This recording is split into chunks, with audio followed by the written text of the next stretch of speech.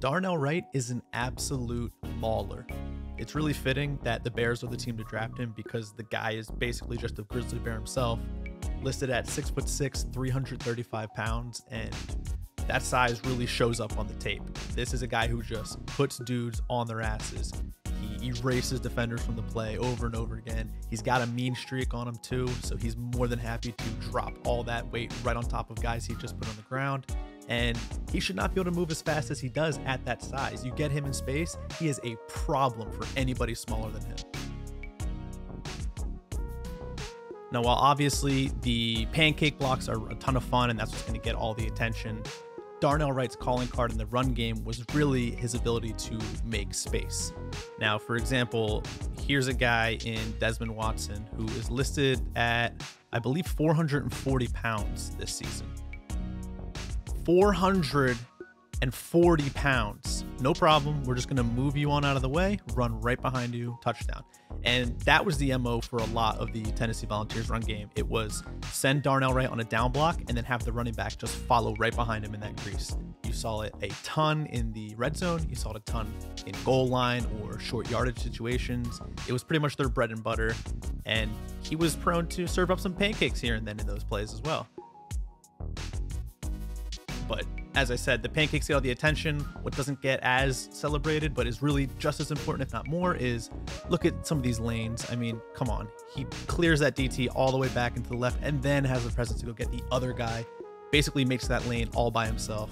I could have run through that. Now, when Tennessee pulled Darnell Wright and got him moving, got him in space, that's when you really got a chance to see his freakish athleticism show itself. But as you might expect, you also saw a bit of shakiness to his fundamentals. It was little things. For example, when he's pulling, he had a tendency to lean pre snap, and that's something that his coaches at the NFL are definitely going to try to drill out of him. Also, didn't always take the best angles, didn't always keep the best balance when he was in space. So that would lead to things like this against Georgia, where he's just blocking air. But for the most part, He's an excellent puller. He's going to get to his spot quickly. He's going to get that head turned downfield, and he's going to get solid contact on a guy. I think it's going to drive really well with what the Bears like to do on their offense. They love to get their big linemen, especially their athletic ones, moving into space, create mismatches against smaller guys, and let them do that. So, yes, his run blocking is awesome. His pass blocking is not lacking either, though, because Darnell Wright comes prepackaged fresh out the box with an elite snatch and trap move. And if you're not familiar, I'll break it down for you real quick. Basically, he's going to allow the defender to make contact with his chest or shoulders. He's going to get his arms on top of the defender's arms, and then he's just going to push straight down. And if the defender's balance isn't excellent, they're probably going to hit the deck.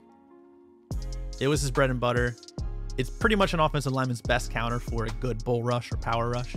Here against Florida, you're going to see the defender attacks that outside shoulder with one arm. Darnell Wright immediately goes for wrist control on this free arm. The defender has to focus on getting that free, which he does. Does not make an impact on the play. Now, this is not a snatch and trap, but what it is, it's a setup for later when Darnell Wright does execute it. Different rep, same move from the defender. He's going to attack that outside shoulder with one arm. This time, Darnell Wright, I'll just let it play in slow motion. He doesn't care about that free hand this time. He immediately goes right for the attacking arm. Defender is eating dirt. And because Darnell has that mean streak in him, he's going to lay down on top of him. Pretty common to see him dive bomb these guys after he put them on the ground. Big guys, they can get it too. Here comes big old zero from Kentucky. Sit down, sir. Thank you very much. And it's just pretty much effortless for him. I mean, he went to this well repeatedly. Defenders couldn't really do anything about it. Smaller defenders, sure, he'll just hold that arm. He'll just get wrist control on both hands and hold you there. And again, it's effortless. He's just taking guys out of the play. Of course, there is that one huge, huge factor when you are trying to evaluate college players, and that is the fact that they're in college. Because the level of competition, it just varies so much depending on what team you're talking about and the nuances of the schedule that season. But when it comes to Darnell Wright, you cannot hold that against him. The guy had basically about as good of a strength of schedule as you could ask for. He faced a who's who list of pass rushers, usually one on one in those matchups. And just in general, the teams that he played against in 2022 were just quality teams with quality defenses.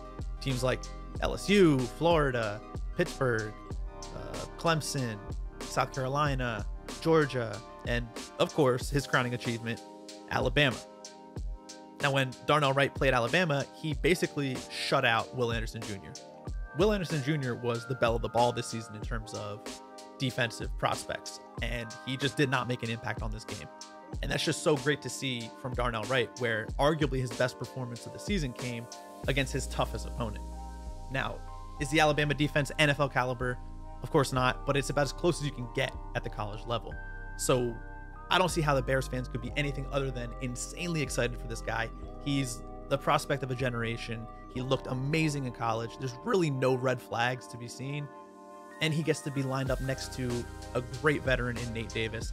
I think the right side of that Bears line is going to be extremely formidable this season and for years to come. The sky is seriously the limit for this kid.